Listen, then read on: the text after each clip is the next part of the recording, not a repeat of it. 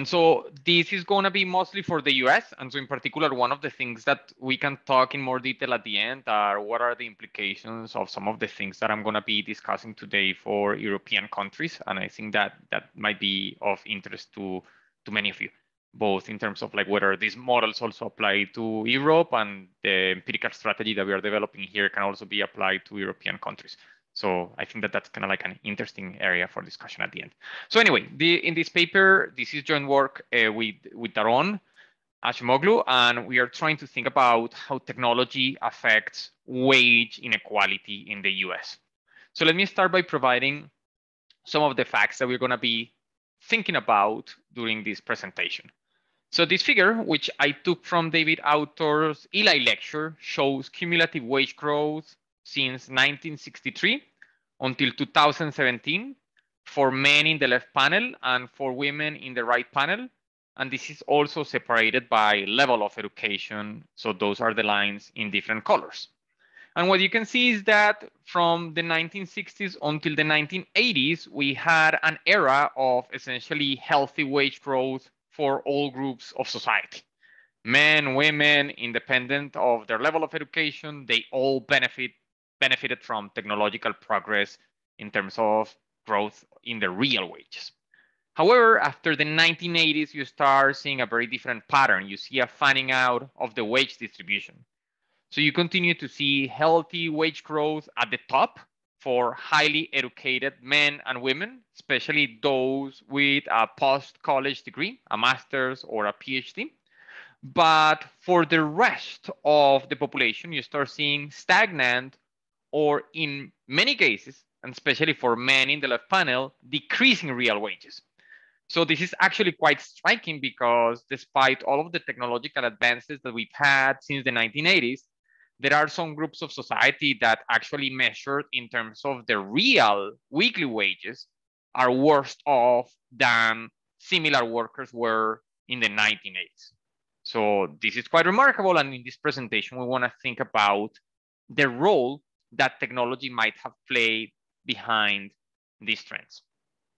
So in particular, what I'm gonna argue is that many of these changes in the wage structure that we have seen since the 1980s are better understood as the effects or as the uneven effects of automation technologies on some groups of society.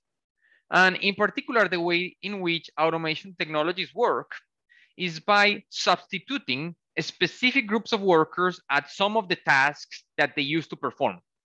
So think of these men without a college degree that were employed as welders in manufacturing. And now you have essentially a robot that can do the welding.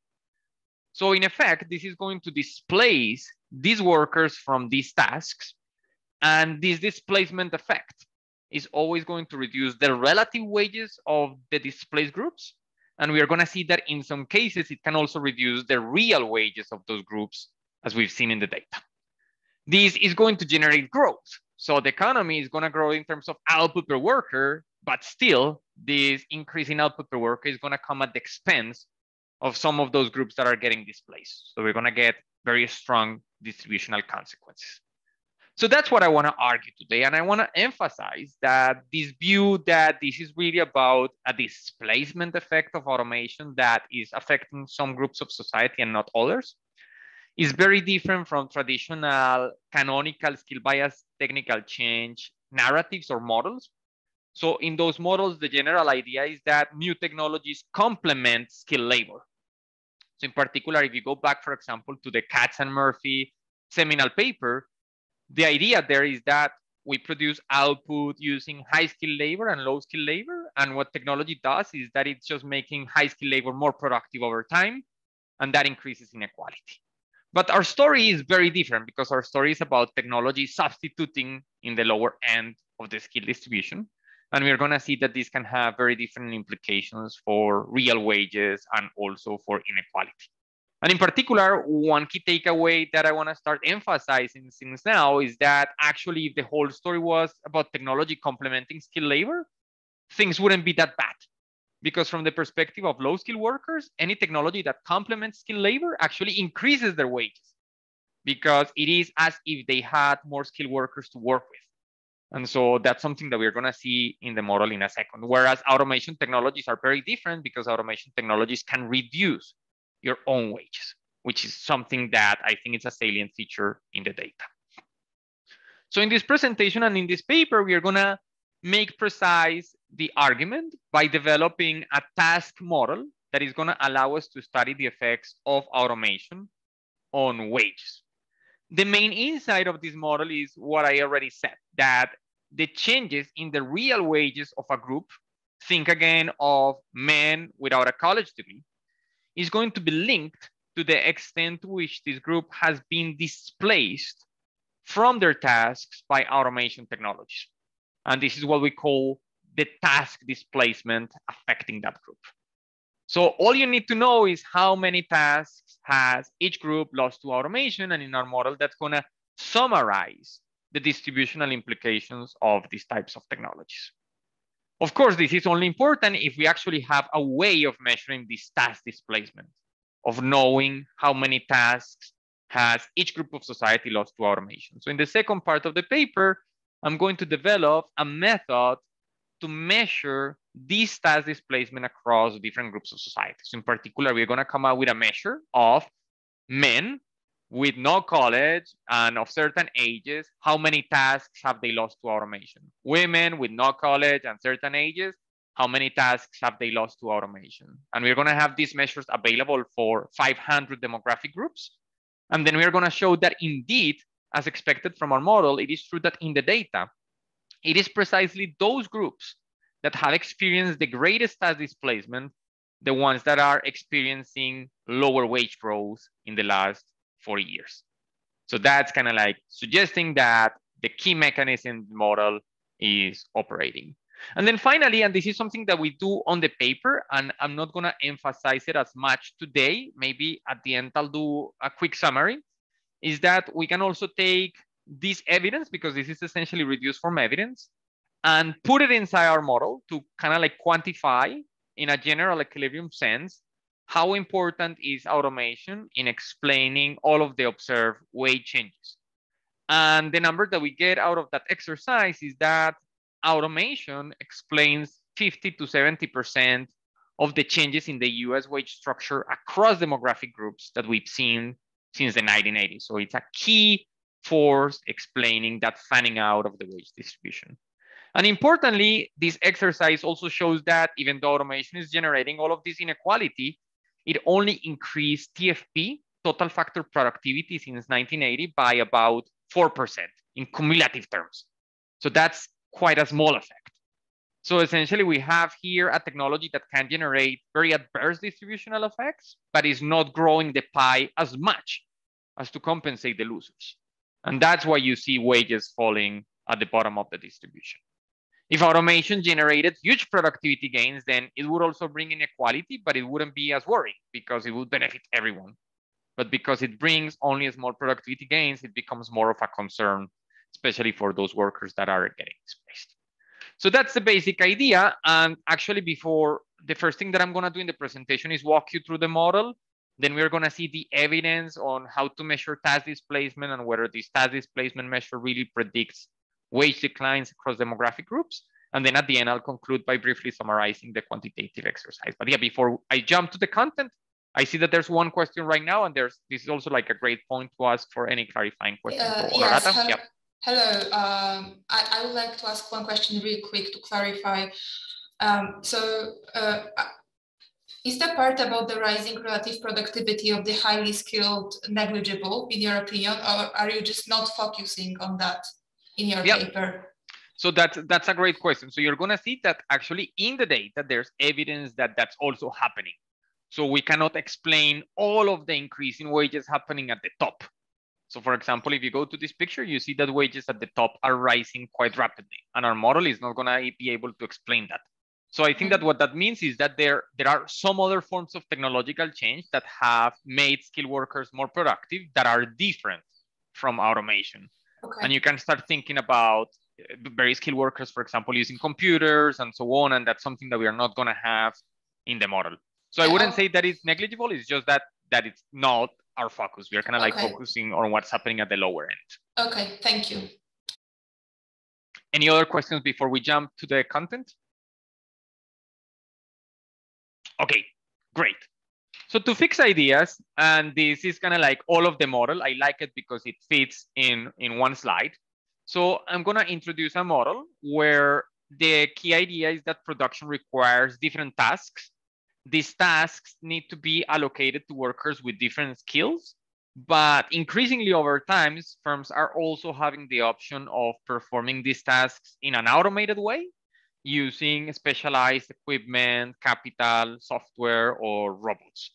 And so think, for example, of a car manufacturing plant. In order to produce a car, you need to complete many tasks. You need to design the car, you need to unload the parts, you need to assemble the parts, weld them together, then you need to paint the car, then you need to coat the painting, then you need to sell the car, and so on. And each of these tasks has to be produced by workers of different skills, but increasingly, if you go to a car manufacturing plant, you're gonna see that the welding is no longer being done by workers, it's being done by robots.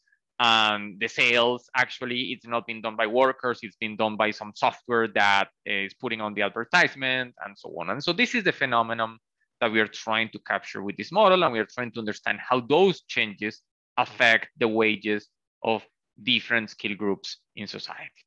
So to capture this, I'm going to assume that we are in an economy that produces a final good Y, think of cars, by combining a mass M of tasks, and each task is going to be indexed by X. So each of these X's are one of the tasks that I mentioned earlier in the example of the car manufacturing plant.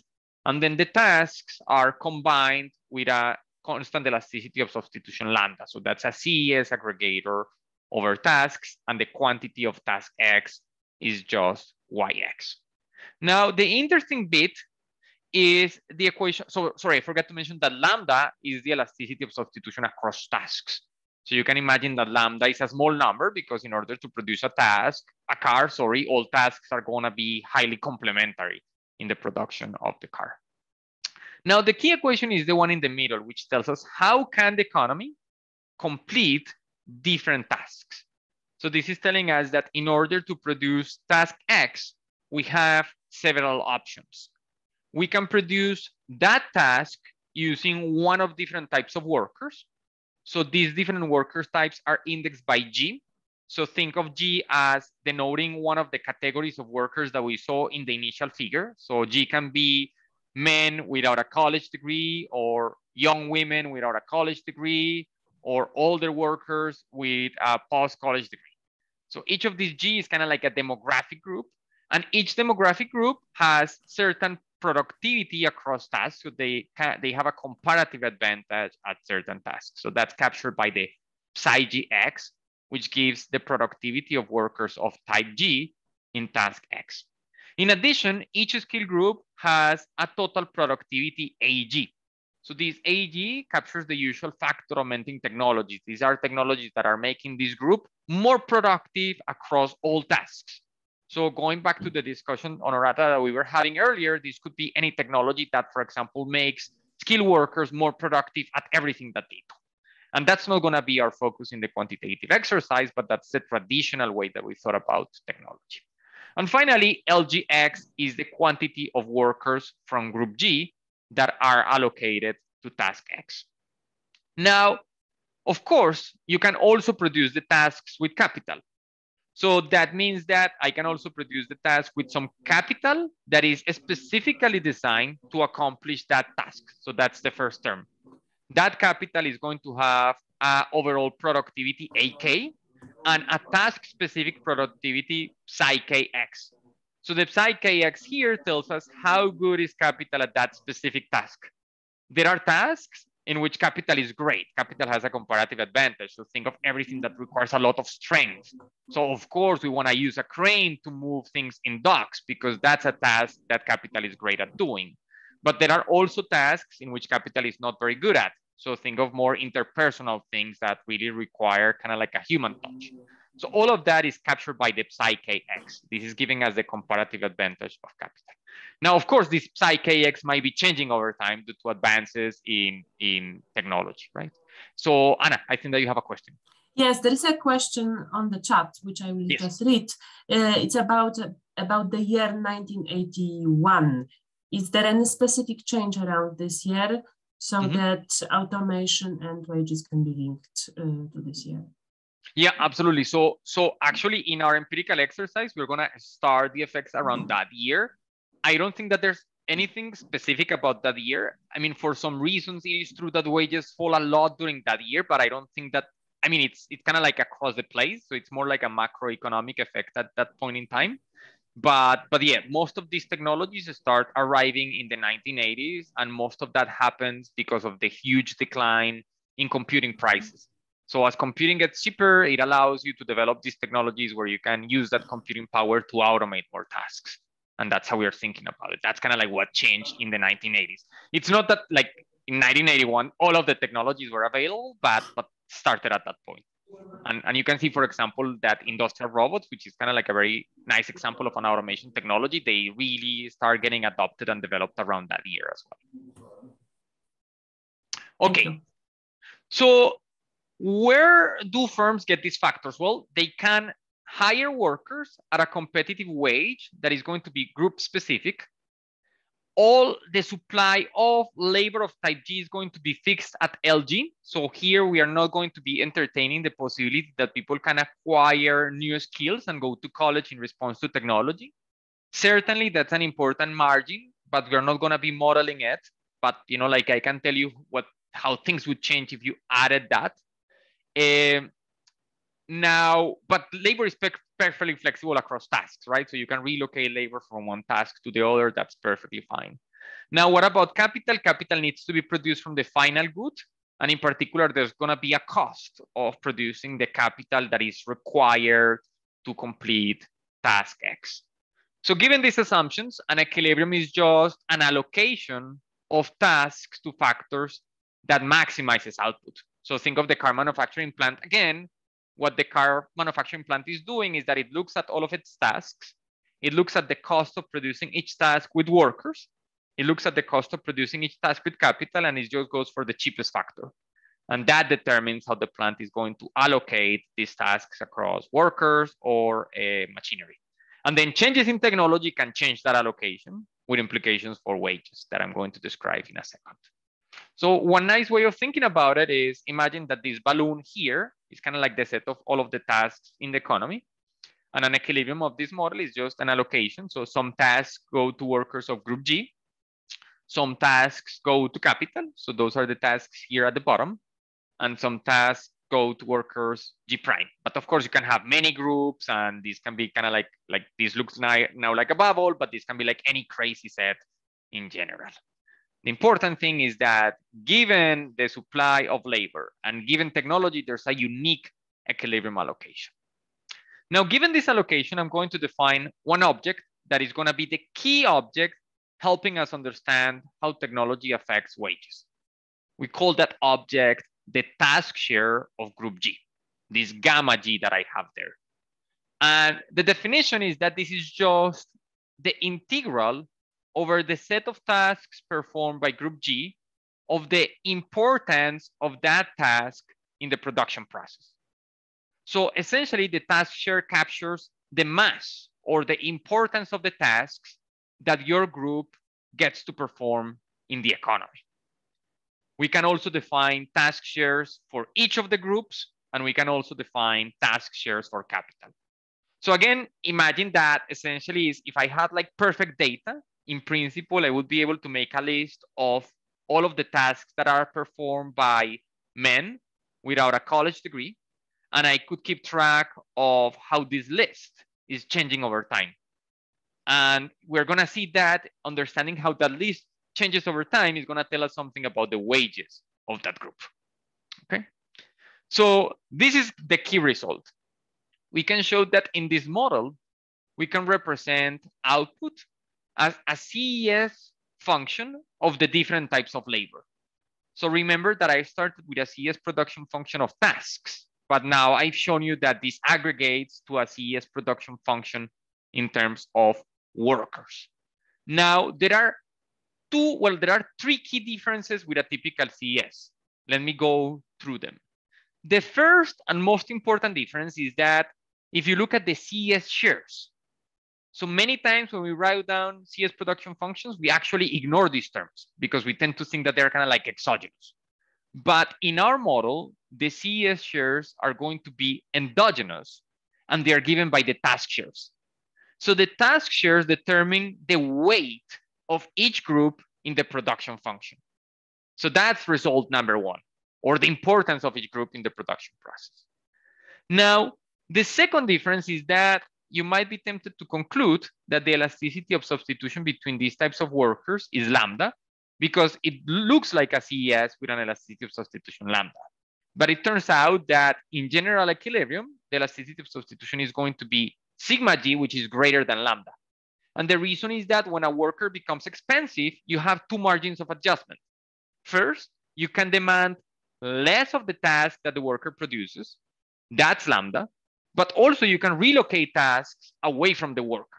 So that gives you an extra margin of adjustment. And that's why the elasticity of substitution is going to exceed lambda.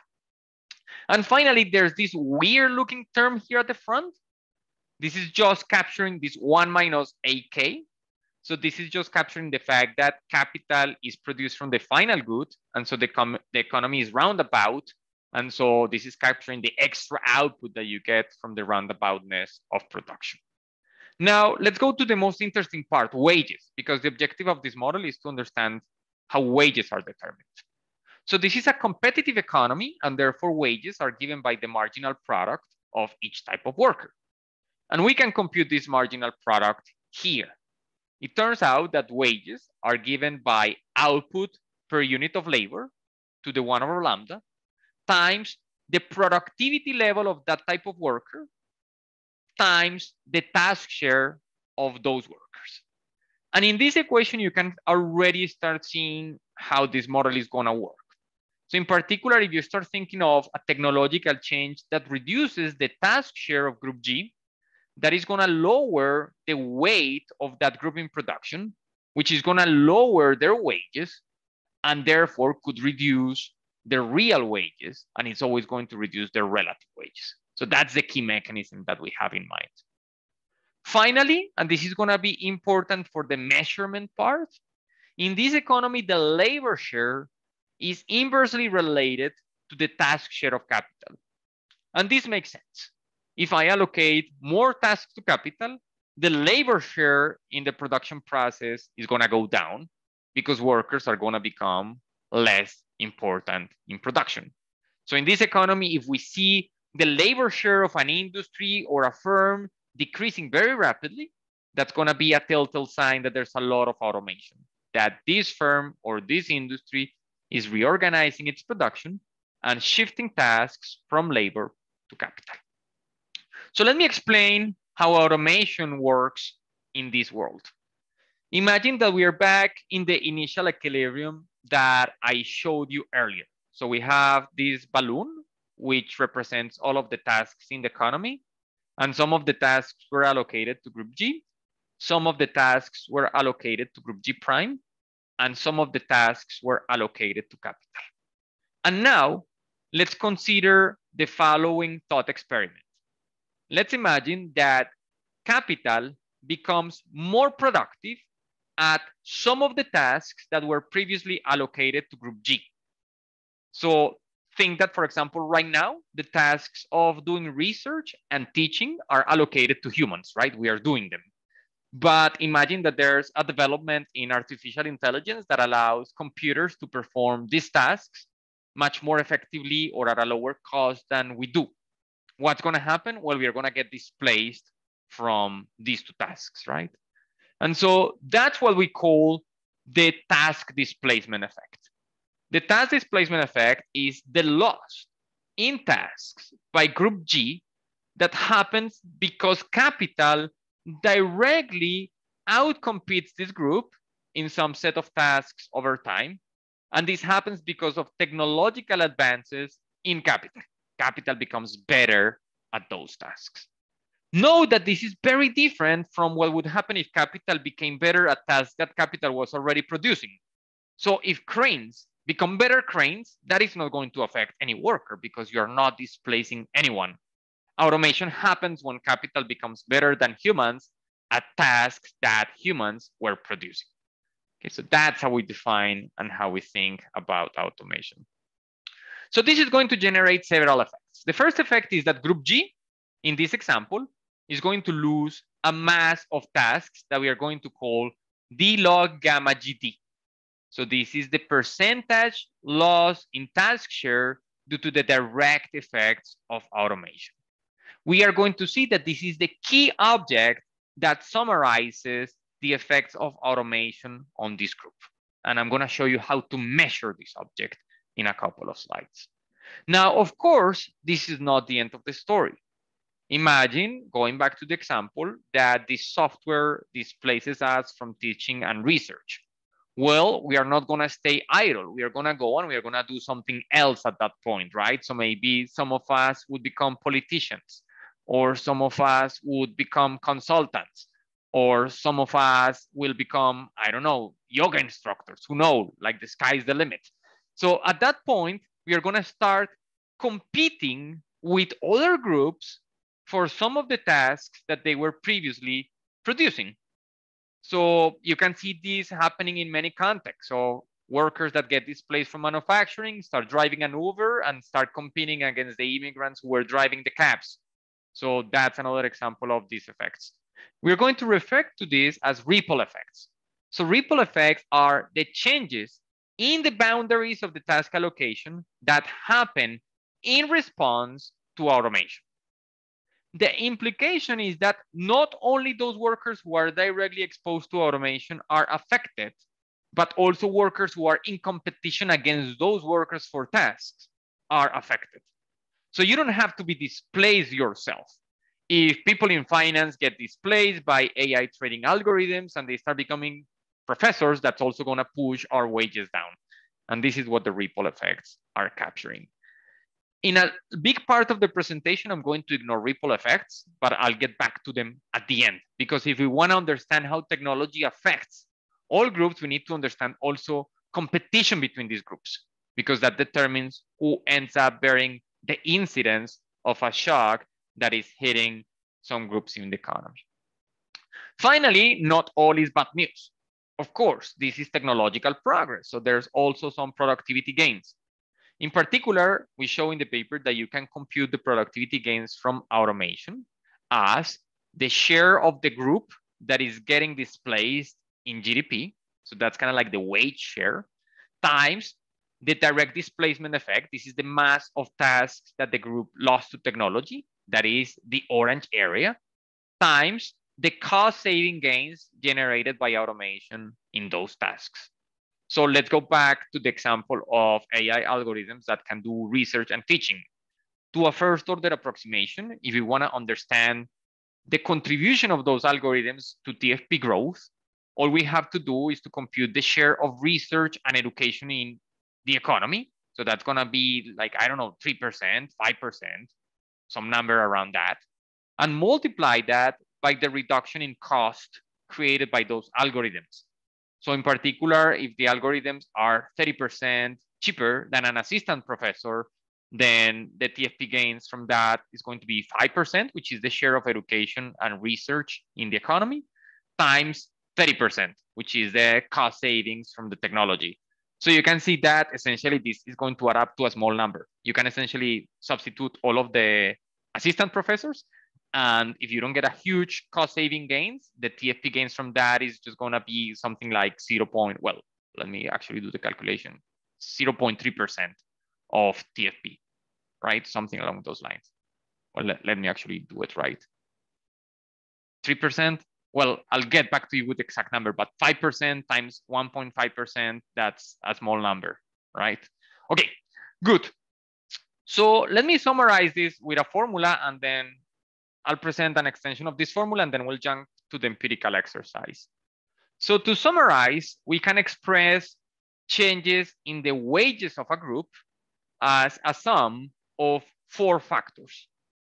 Factor one is something that we call the productivity effect. So this is the expansion of GDP in the economy, okay? So you can see that this depends entirely on how much output is expanding.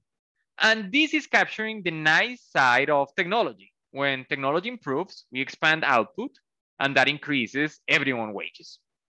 Now, technology not only expands output, but also creates distributional effects.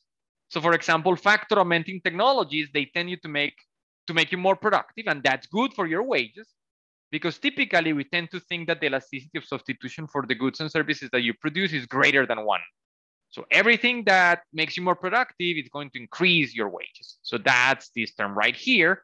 And that's the typical channel emphasized in the literature. So there's technology making skilled labor more productive, that's gonna increase their wages, okay? Here is the channel that we are emphasizing here. And you can see that it will always come with a negative sign. You're also gonna lose in terms of relative wages when you get displaced from more tasks. And in particular, this is just a function of what's the share of tasks that you lost. That's all you need to know in order to quantify what is the effect of this direct effect from task displacement on your wages. And finally, you have the ripple effects. So the ripple effects imply that it is no longer the case that your wages depend on what's happening to you, but it also going to depend on what's happening to people that are in close competition against you. And so you can think of these ripple effects as kind of like summarizing how wages of all of your competitors are changing because of technology. And I'll get back to that at the end of the presentation, but for the time being, I'm kind of like going to ignore these ripple effects and focus on the direct effects of technology. Finally, one thing that is incomplete here is, well, you might ask, well, what's the expansion of output? Because the expansion of output is telling us something about how big are the productivity gains from technology. Well, it turns out that the expansion of output depends on the effects of technology on TFP. And I already argued that the productivity gains from automation can be quite small on the other hand, the productivity gains from technology that augment one worker are always going to be large because you're making that worker more productive across the board. So to some degree, factor augmenting technologies are good because they create small distributional effects, especially when this elasticity of substitution is close to one, which is kind of like what most of the literature estimates, and large productivity gains. So these are technologies that generate shared prosperity. Everyone benefits essentially. Instead, automation technologies that are mostly about displacing one specific groups can have adverse implications for that group, large distributional effects coming from these direct displacement effects, and can generate small productivity gains. So conceptually, that's kind of like the main difference between these two technologies. And that's how we see the change be between the period before the 80s and the period after the 80s. So we are thinking that before the 80s, most of the technology was factor augmenting, was improvement in material sciences and so on that really augmented humans. And after the 80s, there has been an emphasis more on automation technologies. And that's why you see this increase in inequality, even though you're not seeing a boom in productivity. Now, in order to take this equation to the data, I just have to do one small modification. In this economy that I just showed you, I thought about the production of a single good. But in reality, we have multiple industries. And this is important because automation concentrates in some specific industries. So for example, there's much more automation in manufacturing than in some sectors in services. So we need to account for that. So in particular, we can extend the framework to a multi-sector economy. And what we can show there is that you get a very similar equation for wages, but now there are two differences. The first difference is that you have this term capturing industry shifts. So in particular, if you're in a multi-sector economy and industries in which you have a comparative advantage expand as a share of value added, that's good for you because that's increasing the demand for the types of skills that you have. So that's what this term right here is capturing. So you might think of things such as trade in final goods or in general structural transformation as affecting the wage structure through these industry shifters. So that's the first modification. And the second modification is that now the displacement that you experience across all industries matters. So it's not only about how much displacement do you experience in a single industry, because we're assuming that labor is perfectly mobile across tasks. So if I get displaced in a single industry, I can still go and move to the next industry. So what matters in this case is a measure of the total direct task displacement that you experience across industries and this is going to be an average of the displacement that you've experienced in each of the industries. And the weights here are just the share of wages that your group earns in industry I, which tells us how important is industry I for the wages of your group or for the labor demand of your group. So this is the equation that I'm gonna estimate in my reduced form exercise. In particular, I'm gonna take data for different groups and I'm gonna try to explain their wages as a function of a constant. The constant is capturing the productivity effect. Technology is improving, increasing output, and that benefits all of us. I'm gonna explain wages as a function of factor augmenting technologies. So I'm gonna proxy this with educational dummies. So the idea is that there are technologies that are making, for example, people with a college degree more productive over time, or people with a post-college degree more productive over time. And Honorata, I think that this is gonna be an area where you're gonna see the, that there's a residual component that our measure doesn't explain. We are also going to control for measures of these industry shifters. So in particular, trade and many other forces have changed the composition of the US economy and have moved the economy more towards services. So that can affect wages and we're going to control for that effect. But most importantly, we're gonna try to measure this term right here. We're gonna try to measure for each group what's the total direct task displacement that the group has experienced across all industries. And the theory suggests that that term should come out as negative and should play an important role in explaining wages across groups or changes in wages across groups over time. Okay, so this is all I'm gonna say about the theory. Please, if there's any question about this, let me know, and otherwise we can jump to the empirical exercise. Anna, go ahead. I actually have a question because you mentioned that there is uh, so little improvement in productivity. So this is something which was measured or it's an assumption or what, what is it? Because for me, it would be uh, illogical why why the companies use this mm-hmm. uh, task displacement displacement mm-hmm. technologies if they bring so little increase in productivity or so little savings. Absolutely, absolutely. So that's a great question. So let's look at this formula again. And this time i am going to try to make the calculation easier for me. So if you look at this formula, this is a formula that comes out of the model, right? So essentially the formula is telling you that if you want to automate 10% of the tasks in the economy, and that's essentially what, what we find in the measurement exercise that I'm gonna show you in a second, that 10% of the tasks in the economy has had been automated in the last 30 years. Then you need to multiply that 10% by this term pi g, which is the cost reduction generated by automation. And this pi g, we actually estimated in another paper using the case of industrial robots, which is not the only automation technology, but it's a very prominent one. And we estimate it to be 30%. So this essentially implies that the TFP gains are 10% times 30%. And now I can make that one in my head, that's 3%. So that implies that TFP goes up by 3% over a 40 year period. So that's a small effect.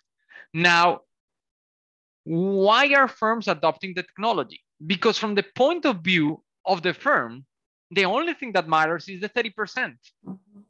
From the firm, is I'm reducing the cost of producing this task by 30%. But it's just that from an aggregate perspective, all of the cost of that gaining productivity is bear by some specific workers. And the firm doesn't internalize that because the firm only cares about maximizing profit, right? So that's a little bit what's happening here. From the point of view of the firm, profits went up like the firm is doing better, it actually reduced its, co its cost quite a bit. But all of that came at the expense of some groups that were displaced from those tasks. So I think that that's kind of like what makes it more complicated in a way, mm -hmm. which is that this is one example where the incentives of firms and workers can be misaligned. And, and so and so perhaps you want firms to internalize the social cost of automation, something like that. And, and that's tricky because they do not necessarily do that as long as we have an algorithm that can teach at a 10% lower cost than, than we can, then we're not going to be teaching, right? Uh, unless we find some ways to like increase our value. But, but, but yeah, as, as long as that's the case, the firm has all of the incentives to substitute us. Um, so I think that that's what's happening here. Yeah, thank you. Makes sense. Perfect. Good. And by the way, this is kind of like another lesson, which is in, in some of our papers, we call this the so-so automation technology paradox, which is the idea that you can have automation technologies where that are very mediocre in the sense that they do not increase productivity a lot. And those are the worst because they're going to get adopted. They're going to generate displacement, but they're not going to bring productivity. So if you want to be worried, you really need to be worried about these mediocre automation technologies. You don't need to worry about the brilliant automation technologies that have a huge pi G because those increase productivity by a lot. So it's only kind of like the mediocre robots or the mediocre technologies, the ones that, that can reduce uh, some groups' wages. And I think that there are some examples of brilliant automation technologies. So for example, like think that like everything that we done in, in agriculture was like at least in the long run turn out to be brilliant. But for example, check self-checkouts in supermarkets, at least here in the US, I think that they make no sense. They save almost no cost. They take a lot of time. And I can see no big productivity gains coming from that. And and the end the end result is just like like you know like output remains roughly the same and you just have like fewer workers. So, so that's something that I think really just displaces those workers and generates no productivity gains. Okay, but thanks, that, that's a good question. Okay, so now let's go to the more interesting part, which is how do we measure this task displacement and trying to understand whether indeed these measures of task displacement can explain what's happening to different workers over time. So this is our measuring methodology. And in order to make it work, we have to make one single assumption. So let me walk you through this assumption. The assumption is that only routine tasks have been automated in the last 40 years. So that's part one of the assumption.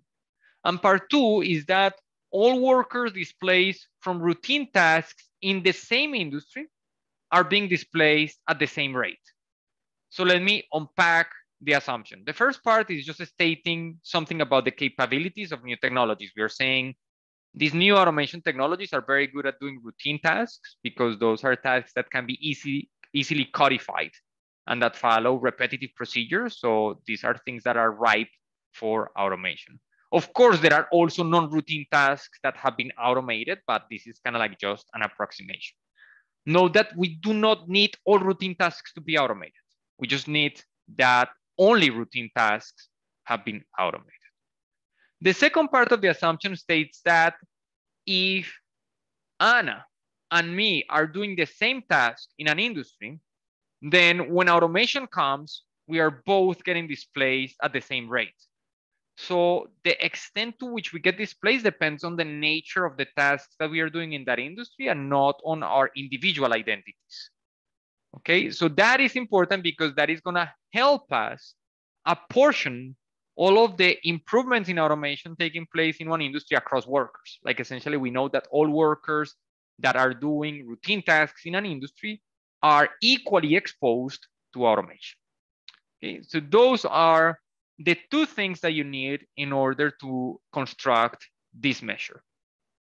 If you make this assumption, we can measure the task displacement experienced by a group of workers over any period of time as a sum across industries of three terms. So the first term, this omega GI, gives us the exposure of that group of workers to industry I. That's just telling us how important is that industry for the labor demand for that group. Okay, so that's the first term. The second, the second term gives us the revealed comparative advantage of that group in routine jobs in industry I. So what's the basic idea? The basic idea is that if there's a lot of automation happening in an industry, and I am the only worker who is doing routine tasks in that industry, then the assumption implies that I'm going to bear all of the incidents of that automation. If instead there are many workers doing routine tasks, then I'm going to say that we are all sharing the incidence of that automation. And so less of that falls directly on me. So this is a way of adjusting for the incidence of automation within an industry. This is useful because this is capturing the idea that when I see a lot of automation happening in an industry, not all workers are affected. It is exactly the workers who specialize in routine tasks within that industry, the ones that should be getting displaced. It is not the managers and it is not other workers doing non-routine tasks. Finally, we have the orange term, which tells us how much automation or how much task displacement is taking place in each specific industry during this period of time. And in our model, we showed that this is given by the percent decline in the labor share due to automation. Why the decline in the labor share? Because remember that in our model, that is tightly linked to the extent to which tasks are being shifted from workers to capital. So in our model, the labor share decline tells us how big or how important is automation in an industry. Of course, the labor share can be declining for various reasons. And that's why the full statement is that we only need to use the component of the labor share decline that is directly attributable to automation. So how are we going to measure all of these terms? Well, the first two terms, we can directly measure them from the data because I know the share of wages earned by each group of workers across industries. I get that from the census, and I guess that from European countries, you can also easily have that data. Uh, the second term also comes from data that has any occupational dimension. So I just need to look at within that industry, what's the share of wages earned by that group in routine tasks. So that's also something that I can measure if I have a definition of routine tasks, and I'm gonna show you the one that we used in a second. And the third term is more tricky because that's something that is not directly observable. I can see the decline in the labor share in an industry, but it's harder to argue what's the part of that that is directly due to automation. So we are gonna use two strategies. In our first strategy, we are gonna use all of the observed decline in the labor share as a measure of automation. Uh, of course, this is just kind of like a benchmarking exercise because there could be other forces explaining the decline in the labor share of an industry. For example, an increase in markups or changes in factor prices or whatnot. So we see this mostly as a benchmarking exercise. Our preferred strategy instead is to use industry level measures of automation, in particular measures of the adoption of robots specialized software and machinery across industries to estimate the component of the labor share decline that can be attributed to these technologies. So I'm gonna describe that in more detail in a second, but let me stop here and make sure that there are no questions about the measurement from a conceptual point of view. Okay, good. So this is the data that we're gonna use this is data. So, okay, so sorry. So in order to construct these measures, we need data for groups and for industries. So let me describe first the data for industries.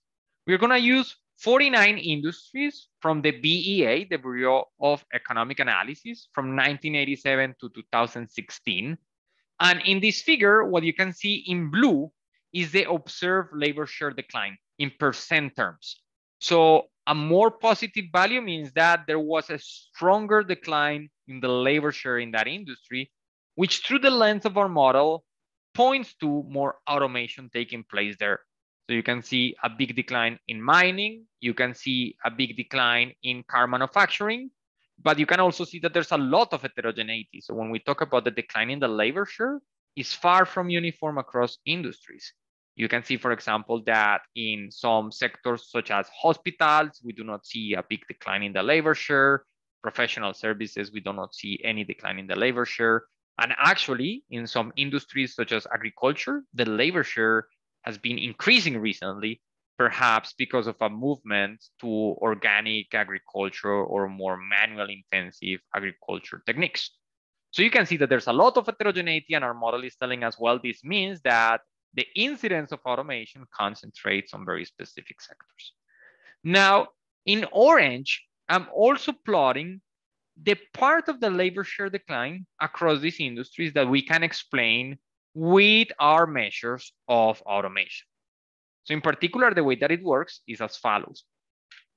Imagine that I have data on the labor share decline. So this is plotted here in the vertical axis. And I have proxies of automation, which are plotted here in the horizontal axis across these 49 industries. So essentially what we are doing is that we are running regressions of the change in the labor share against our proxies of automation across industries. And you can see that there's a negative relationship between changes in the labor share and the adjusted penetration of robots. This comes from data from the Industrial Federation of Robots for the US. So industries that are adopting more robots experience a bigger decline in the labor share. You can also see that there's a lot of zeros here because this data for robots is only available for manufacturing. Now, in panel B, you can see that industries that increase by more their investments in specialized software and in dedicated machinery also experience a bigger drop in their labor shares. And finally, in panel C, what we are doing is that we are pulling these two technologies or these three technologies actually into a single one and explaining the decline in the labor share as you can think as a principal component index of these three technologies. And this gives us the labor share decline predicted by these three technologies. So essentially across industries, we show that these three measures explain 50% of the variation in the labor share decline and give us these orange bars that we have here. So when you focus on the orange bars, you can see that that reduces the heterogeneity a little bit, which is good because presumably some of the industries that are experiencing a big drop in their labor share are doing so for reasons that are uh, unrelated to automation.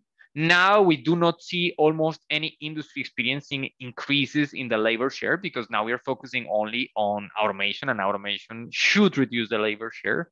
And you can see that the industry with the greatest predicted decline in the labor share is now car manufacturing, which is kind of like the poster child for automation because you have big use of industrial robots, uh, computers, and specialized software and equipment in this industry.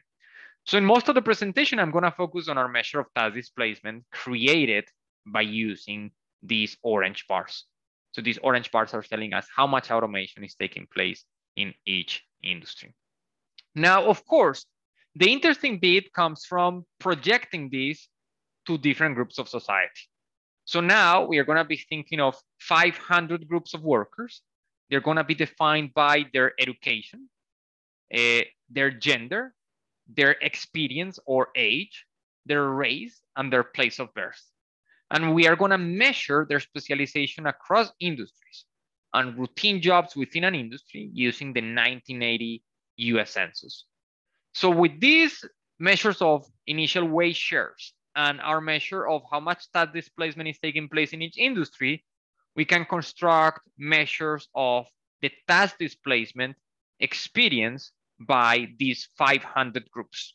I forgot to mention that we're defining routine jobs using occupations and the measures of routineness from ONET, which follows the work of Daron and David Autor. But this is what you get in the right panel. So each of these markers represents one of these 500 groups. The colors indicate educational levels and the size of the balloon indicates the population in each of these demographic groups.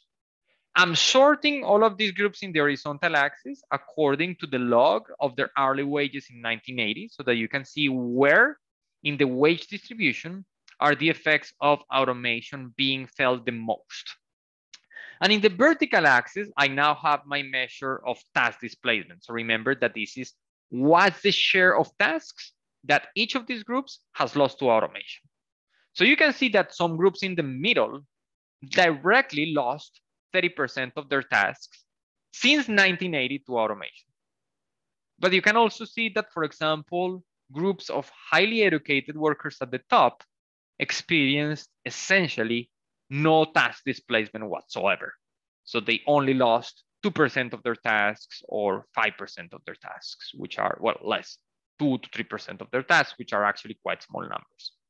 You can also see that there's a little bit of a U-shape, which suggests that automation is going to play both an unequalizing role and also a polarizing role.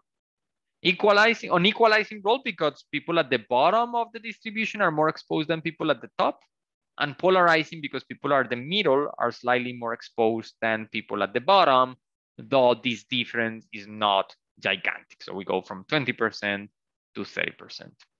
I also want you to keep in mind that this is only telling us what's the direct displacement that you have experienced. So this is a measure of the shock. you've lost 30% of your tasks due to automation. Now, doesn't mean that now you're doing 30% fewer tasks because you can also go and start doing new things. So this is just a measure of how far have you been pushed out by automation, not a measure of the net effect of technology on your task share.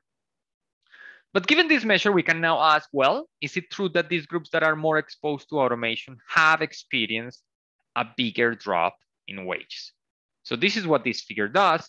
And I want you to focus on the right panel, which uses the data on the automation driven decline in the labor share of each industry, which is our preferred specification.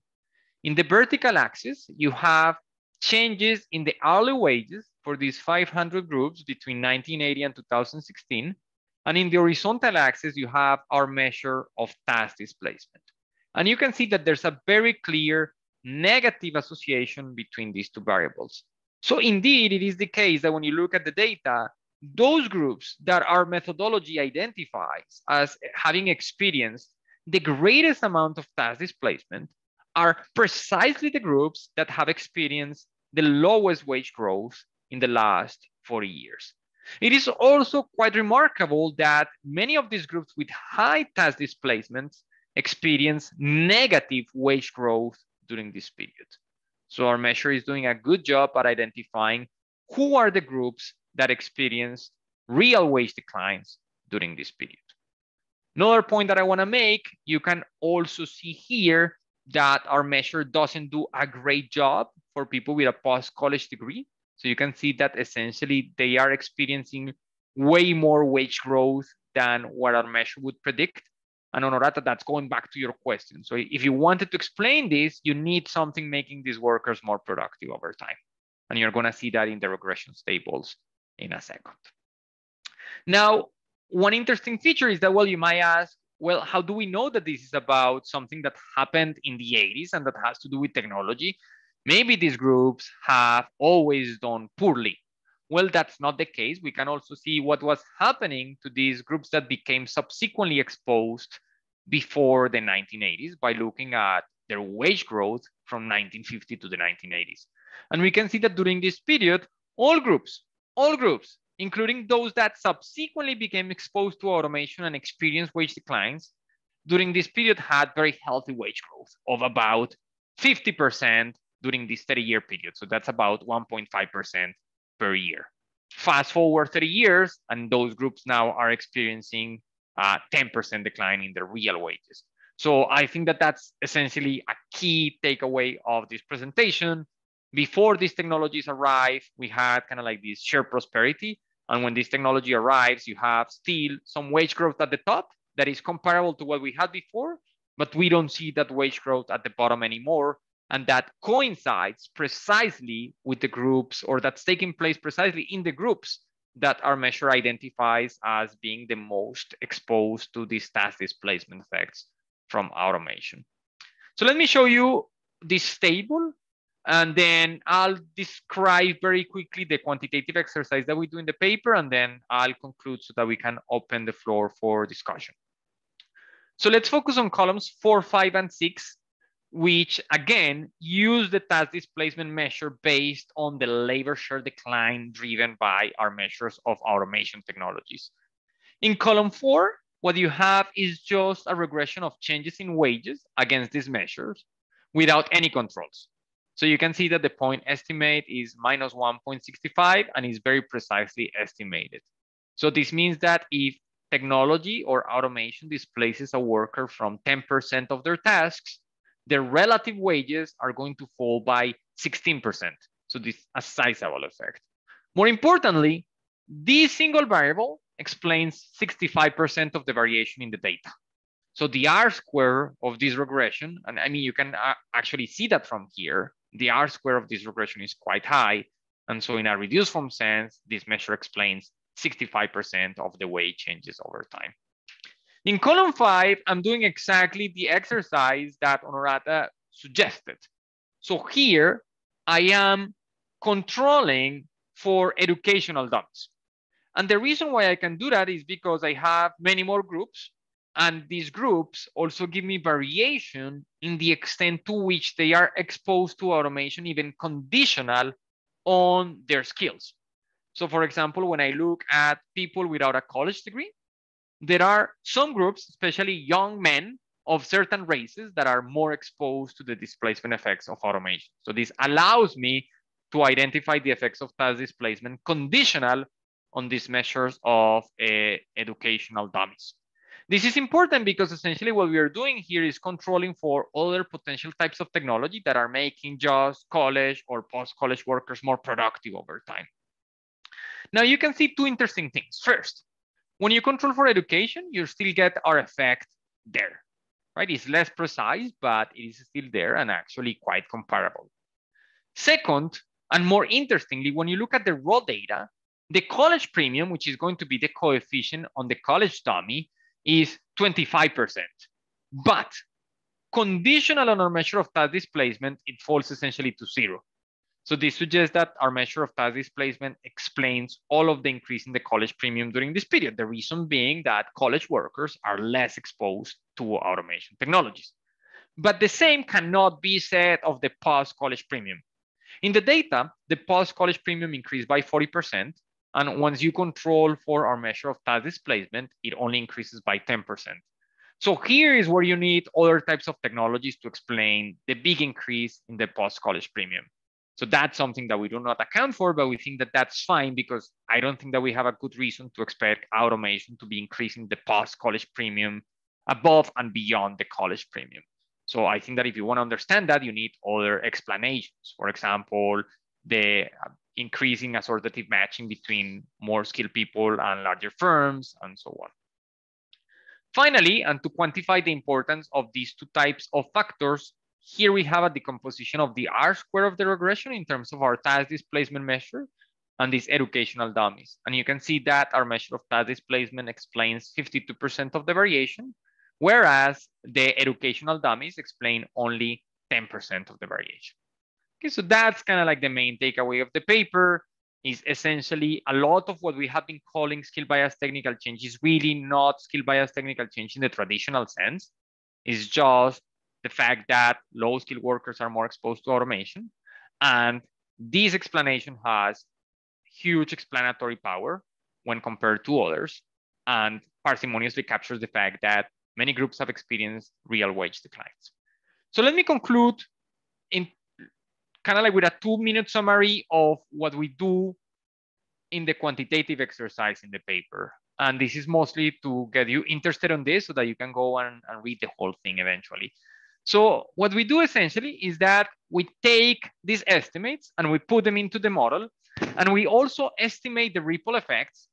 And essentially the key idea behind the estimation of the ripple effects is that all I need to know is what happened to the wages of my group when other wages get when, when other workers get displaced. So that's telling me like what's the spillover or what's the ripple effect that that group creates on me. So in principle, you can think of like a huge matrix of spillover where each group can affect other groups, but we parameterize these spillovers as a function of how similar these groups are in terms of the tasks and industries in which they specialize. And with that parametric assumption, we can estimate this big matrix of spillovers. And with that in hand, we can use our model to compute what's the total effect on wages of automation, now accounting for these spillover effects or these ripple effects. So this figure summarizes the result from that exercise. The first thing that I'm plotting here, and again, I'm doing this ranking or sorting groups against their hourly wages in the 1980s. And here you have wage changes since 1980 predicted by the model. So the first thing that I'm doing here is plotting the productivity effect. In terms of productivity, the economy expanded because of automation, and that would have increased all of our wages by 45%. So that's great news. Now, in the second panel, I'm plotting the fact that automation also changes the sectoral composition of the economy because it concentrates on manufacturing. And so it shifts value added towards services, and services demand very different skills than manufacturing. We thought that this was going to be an important channel, but turns out that it's not. In particular, these sectoral shifts induced by automation are not big enough in the data. Finally, in panel C, we add the task displacement effects. So this is the negative part. So now we are accounting for the fact that all of these productivity gains came at the expense of groups that were displaced. And so you can see that now some groups, those with a post-college degree, are gonna win a lot, but groups that were displaced are gonna lose a lot. And all of this is kind of like coming from the model, which is calibrated to match the regressions that I showed you earlier and, and the spillover effects. And finally, in panel D, we add the spillover effects. So imagine that the direct effect of the shock is the one in panel C. What's gonna happen is that these groups at the bottom, which are experiencing a huge drop in wages, are then going to start competing against other groups for some of their tasks. And they can do that because their wages are lower now, right? So firms are willing to substitute them. But what this is going to do is that this is gonna equalize some of the wage effects of automation. It's gonna compress them a little bit. You can think that in the limit, if everyone was able to retrain perfectly and become a computer scientist, then this would imply that all of the dispersion would vanish and we will all converge to the same line because we are not fundamentally different. But the fact that it hasn't suggests that there are some important differences between these groups and that the comparative advantage of these groups across tasks is quite strong. And so when they get displaced from some of the tasks in which they have a comparative advantage, they cannot just go to other tasks and fully lower the wages of those other groups by the same amount. So essentially this is telling us that at least in the US, relocation of groups across tasks has reduced the effects of inequality, but has not fully absorbed all of those differences. So that's my last slide. Let me just conclude by saying that this paper argues that much of the increase in US wage inequality is due to the uneven effects of task displacement. Uh, this is very different from canonical theories of skill bias technical change because we are emphasizing the role of displacement and also the importance of industries and occupations above and beyond educational levels in mediating the effects of technology. Here, what matters is what are the occupations that you do, sorry, what are the tasks that you do, not what are your skills. The tasks that you do determine whether you're exposed to automation or not. This theory provides a better fit to the data and has high explanatory power and also explains why productivity growth has been lackluster despite these huge adverse distributional effects and why these types of technologies can lead to declining real wages for some groups of workers as we've seen in the data. So thanks so much.